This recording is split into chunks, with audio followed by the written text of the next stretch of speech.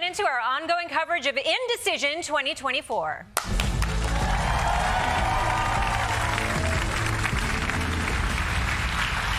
Donald Trump has had a good week. He sealed the GOP nomination. One of his 54 trials was postponed.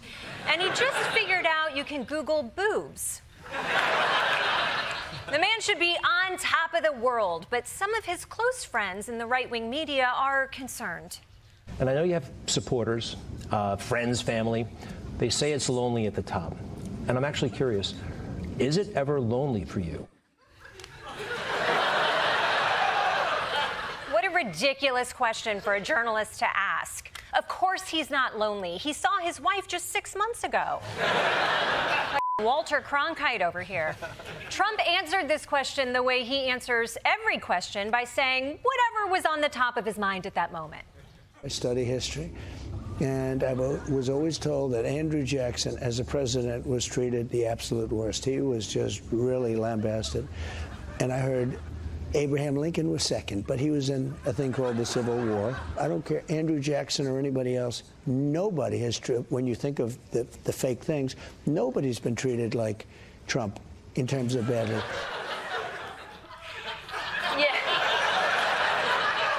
Yes, in terms of badly, Trump has been treated the badliest. Although maybe Lincoln was treated a little bit worse, what with being shot in the head and all, but I, mean, I doubt he was on his deathbed saying, "At least I didn't have a P-tape rumor." Good point. And, and by the way, how mistreated could Andrew Jackson have been? The man's on the twenty-dollar bill. I use that bill every day. It's the one I give to the homeless.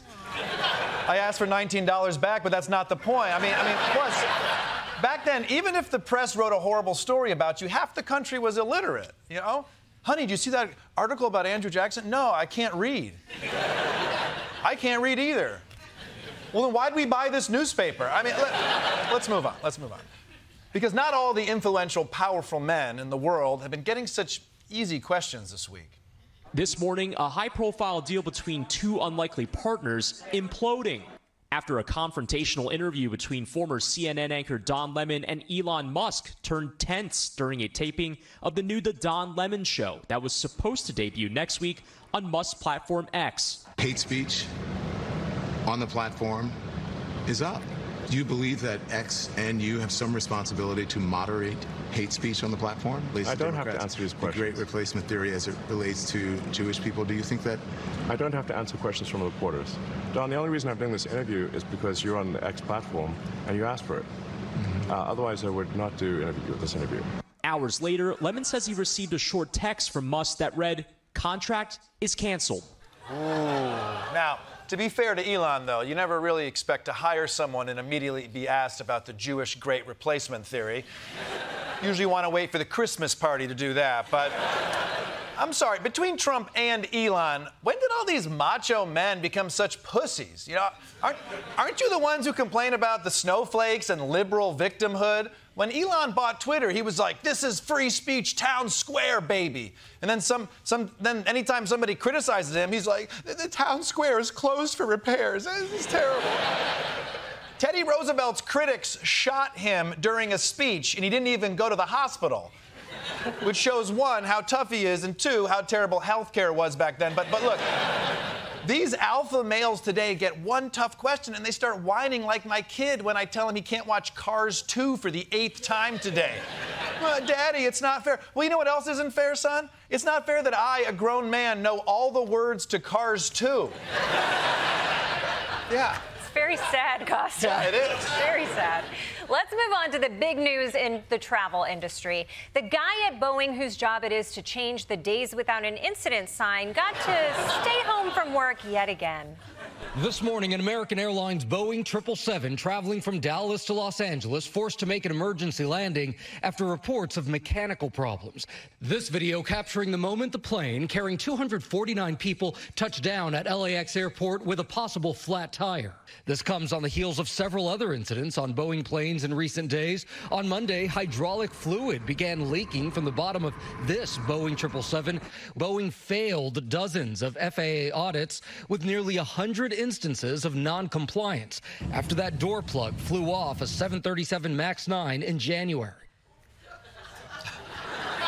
Boeing, what is going on with you? There should be no leaking fluids on planes. Unless you were the guy on the diarrhea plane. He's he's grandfathered in. He can leak anywhere he wants.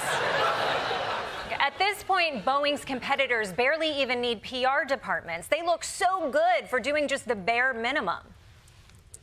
Airbus, we don't have any screws left over in the bag. Nice.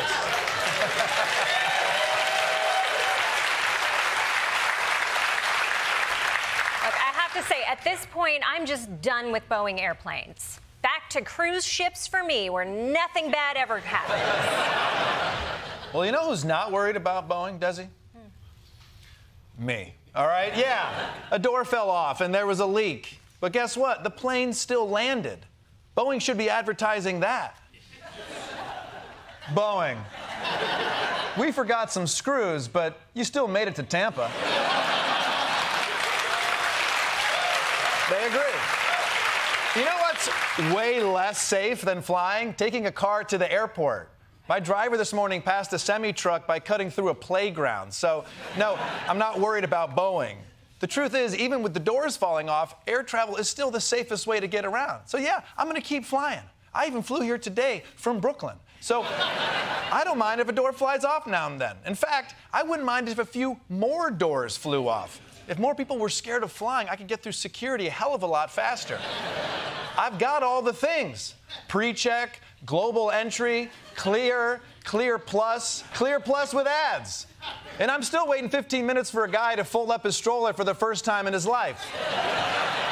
And if you disagree, too bad, because planes are the only game in town. What, I'm, I'm not going to fly to Vegas for my college buddy's fantasy football draft? Grow up. Let's move on to some international news because the U.S. isn't the only country having an election this year.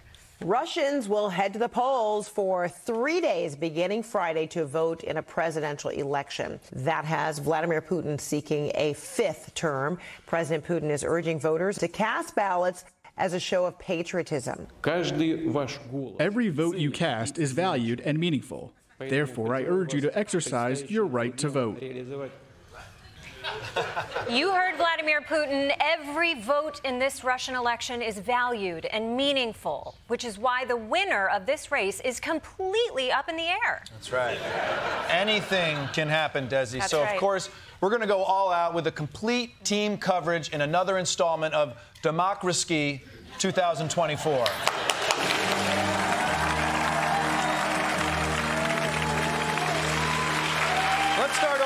The Election Center with Ronny Chieng.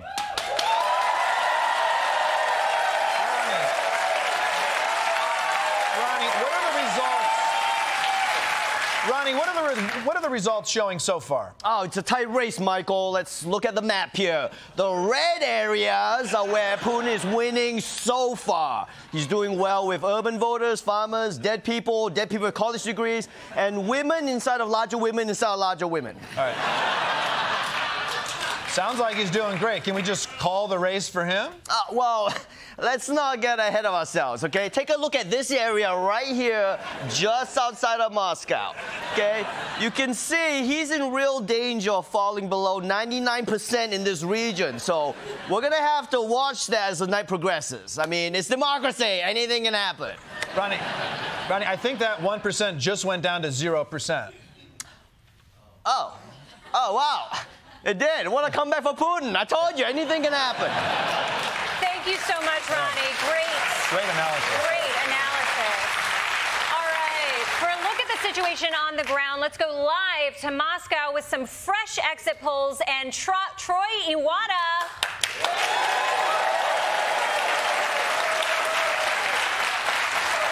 Troy, what are you learning? Uh, Desi, we're learning a lot about why Russians are so drawn to Vladimir Putin. Uh, listen to these exit poll results. First, 94% of voters said they did not want to accidentally fall out of a window. and 96% said they did not want to be poisoned. So those are the top two issues, third being Putin's age. Okay, so voters are worried about Putin being too old. No, they're saying Putin is so robust for a 71 year old that he might do too good a job. You know? Also, the falling out of a window thing. They can't emphasize that enough. Yes, yes, I can see how that would be a concern. How much longer are the polls open? Until 9 p.m. And uh, Russian officials are telling voters if you're in line, stay in line or there will be consequences. Okay. Well, thank you, Troy. I mean, geez, of course, you know, Putin was not running unopposed. So let's go to the opposition's election night party with Grace Kuhlenschmidt.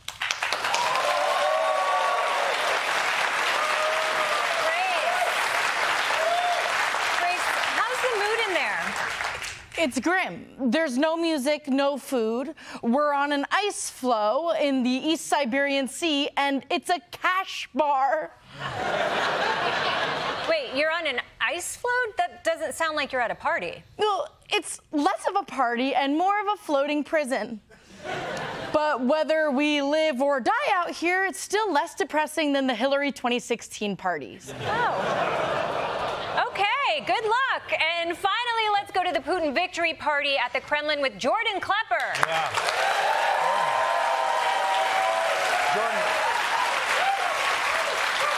Jordan, you've been to a lot of political rallies. How does this compare? It's great, Michael. No notes. What a win for democracy. Really? You're not going to do that thing where you talk to the kooks who are blindly faithful to their party leader? No, Michael. Everybody is normal here, and I have no reason to question or subversively mock anyone, okay? Putin 2024. Russia's a free and open democracy. Speak your mind. Let's hear some cutting barbs. Are you trying to get me killed? oh, hey! Hey, Privyet, Mr. President! Six more years! Six hundred more years! Yes, yes! Good luck in November. Wait, wait, he has another election this November. Oh, a big one. Just not in Russia. Thank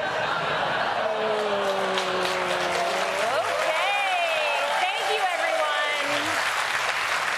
Great to see democracy in action.